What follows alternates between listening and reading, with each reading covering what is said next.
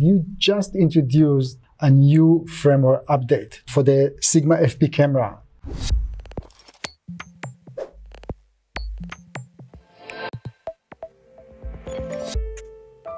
Hi, I'm Johnny from Cinema 5D, and I'm here with Wakamatsu-san from Sigma. How are you? I'm good. How are you? I'm very well, thank you very much. And you just introduced a new firmware update, 2.0. But before we start, let's talk a little bit about the FP camera, just to remind the people what is so special about this one. Yes, FP is a full-frame mirrorless camera that has a raw recording function. In this industry, the FP is also be defined as a large format of digital cinema camera that is very small and lightweight. So you can carry it anywhere you want. Also, I can do record raw uh, format in Cinema DNG format. I guess it expands your possibility uh, of creativity in your production. With this new firmware update, you just introduced 13 new features. So first of all, this is the first camera mm -hmm. that can record ProRes RAW and Blackmagic RAW externally. You are the only one and the first one who is uh, actually allowing dual recording. Why did you allow this, or why, why did you want this so much? Uh, we would like to provide options to our customers uh, because best format it depends on workflow of customers. So uh, if uh, you don't care about the file size, uh, we believe Cinema DNG is one of the best format. On the other hand, if you want to do color grading in Final Cut Pro, uh, I guess uh, ProRes RAW is best for such users. If you want to do uh, do color grading on DaVinci Resolve, but you would like to reduce the file size, yes, your best format is BRAW, I guess. When it comes to uh, ProRes RAW recording and Blackmagic RAW recording, I think it's worth mentioning that uh, it takes two for tango. We will need the Sigma FP 2.0 firmware, but we will also need the firmware from Atomos and from Blackmagic Design for their recorders. And I can only hope that those firmware updates will come more or less around the same time that you release your own firmware. The next new feature, you call it color mode off. Mm-hmm. What is the idea behind it? Uh, this function literally turn off the color mode. So, uh, for example, standard or vivid like neutral, such color mode will be turned off by this function we implemented this function for serious raw uh, recording users because they want to check uh, such raw, raw data in the, the LCD uh, screen on this camera uh, during recording. So uh, that's why we implemented this function. And you also implemented dual ISO settings. Mm -hmm was the sensor in the FP camera already ready for that? And it was just a matter of, let's say, releasing this feature? Uh, yeah, actually, this function was already implemented from very beginning of this camera when we released this camera to the market. Uh, but we had no time to develop uh, well about such a dual-base ISO function at that time. So now we activated this function. So what will be the best ISO settings to work with if I want the cleanest image possible? This camera offers uh, two dual-base ISO, uh, 100 and 3200. From 100 to 800, it keeps 12.5 stops equally. So in this world, uh, we can recommend uh, from 100 to 800 as well. So if I move to the higher ISOs, the uh, dynamic range will decrease a little bit? Uh, yes, it will be decreased. Okay, good to remember this. You also have uh, enhanced the, the, functionality of your Cinema DNG, and I have a list here of what you did actually. Mm-hmm. You have a higher frame rate uh, when recording Cinema DNG. I think this is only in HD, am I right? Yes, it's correct. We implemented several uh, Cinema DNG options. For 8-bit and 10-bit Full HD, it offers 100 and 119.88 frames. And also we implemented 12-bit UHD, 25 FPS, also 29.97 FPS. Nice, but finally we have 25 frames per second for, let's call it PAL countries. Yeah, yeah, actually. Thank you for waiting our development, uh, for, especially for China and Europe. You also added something we call Cinemagraph functionality. Mm-hmm. What is this exactly? Yes, actually, Cinemagraph is very interesting artistic uh, images. It's a kind of photo, but some area of this photo can be moved you can make this footage from movie footage in this camera by touching the screen. So this is more like an artistic thing. Yes, it's very artistic. But someone thinks this uh, function is kind of for amateur users. But these images uh, will be created from Cinema DNG raw footage. So it has very high quality. So I hope this function will be used uh, by professional users also. Interesting. I'm very curious to try this. Mm-hmm. Um, you also have, oh, I mean, you had it from the beginning, the director's viewfinder function. Mm-hmm. But now you can actually record those different settings or options. Can you just elaborate a little bit what is director's viewfinder mode? I mean, what is the aim of such a function? Uh, yes, this director's viewfinder function can simulate other brands' cinema cameras' viewing angle that was preset on this camera over 20 or 30 models modes in this camera. This function was realized by using this uh, camera's full-frame image sensor.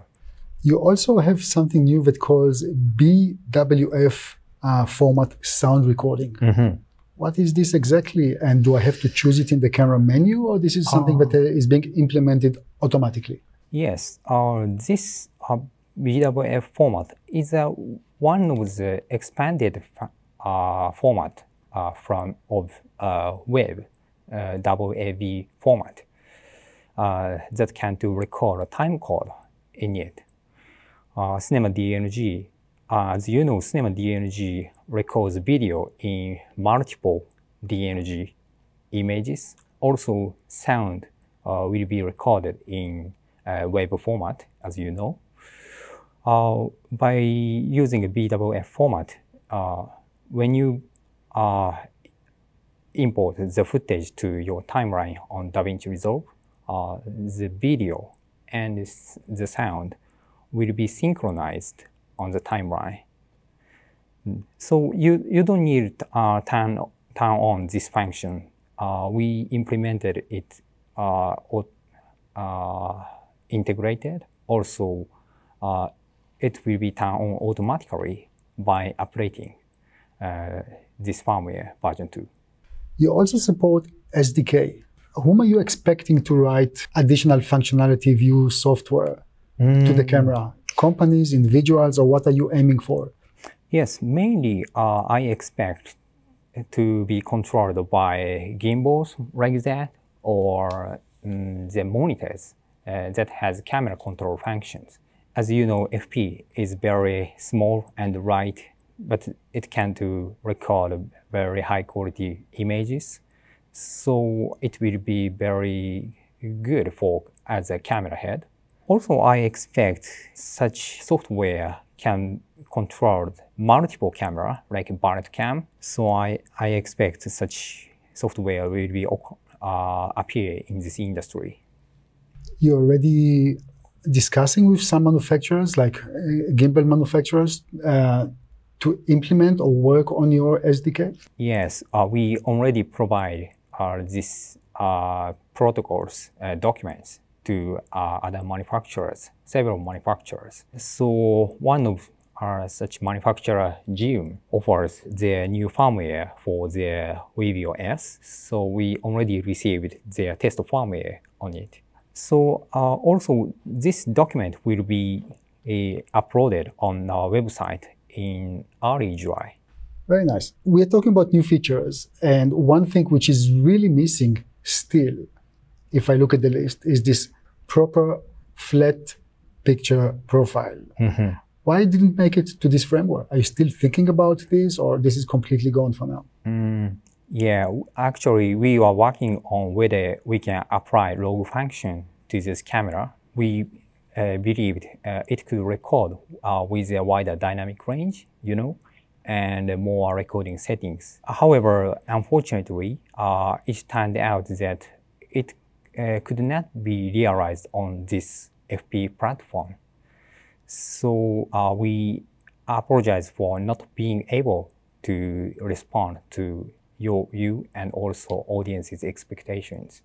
So this cannot be implemented Yeah, true. on the FP camera. true. It's a technical reason. Yes, it's due to uh, technical and hardware limitations of this camera. So now it's the time to move and check the improvement list. Mm-hmm. And the first thing that I noticed is the ability, or actually, you finally got rid of the flickering issue mm-hmm. that was evident at some lighting conditions. Yeah. Mm-hmm. First of all, what happened here and how did you manage to resolve this? Yes, uh, this flickering issue occurred during image processing. This camera adjusts signal level, very small changes, uh, signal levels in each frame, uh, frame by frame. So we improved the image processing uh, software. We believe it, it will be fixed already. The other thing is um, you improved the autofocus function of the camera. Now we all know this is actually a contrast-based camera and not a face detection. When you say improved, what people should actually expect, i- especially of course in cine mode. I'm talking about cine mode. Yes, in Cine mode, uh, we believe most of users want to use continuous autofocus. So we improved its speed, uh, accuracy, and stability, overall uh, performances of this autofocus system. Also, we would like to improve it in next camera platform. Okay, so now we have a little scoop. Next camera platform. That sounds really great.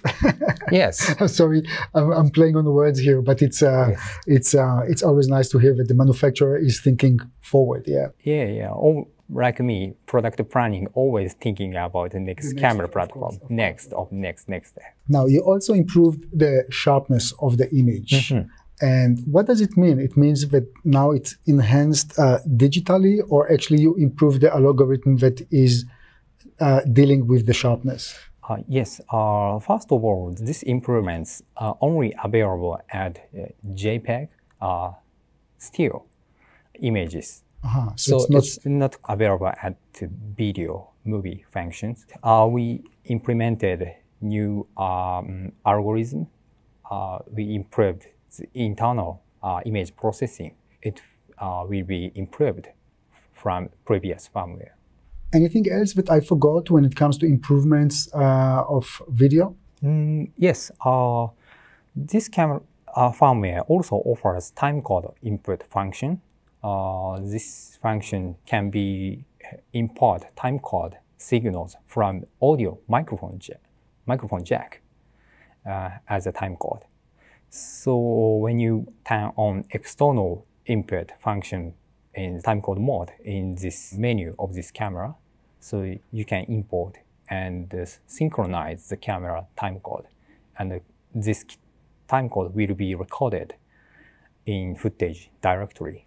Do you know if it's capturing an audio, um, an audio track? Uh, when you input timecode, this camera cannot record audio uh, simultaneously. So if you want to both, you synchronize timecode from external timecode generator to this camera, and yeah, disconnect. Also turn off uh, external input.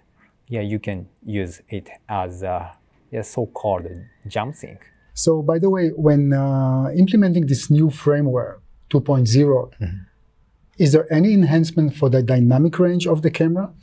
No, as I said in uh, in the answer to your uh, about uh, dual base ISO, the maximum dynamic range is still 12.5 stops. Something which is not on my list, but I'm just very, very curious to know. When the camera was introduced, you had really a very nice set of accessories to go along with the camera.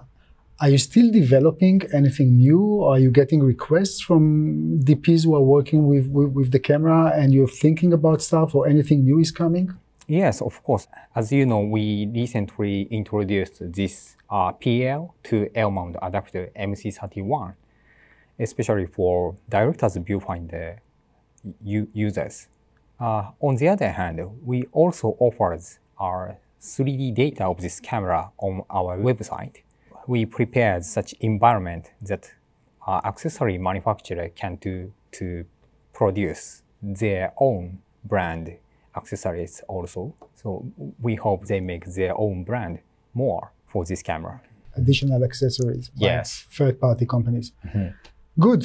Wakamatsu-san, thank you very much. Thank it's very much. always a pleasure talking to you and good luck with the version 2. Mm-hmm. Sounds very exciting. Guys, thank you very much for watching and please don't forget to subscribe to our YouTube channel. Thank you.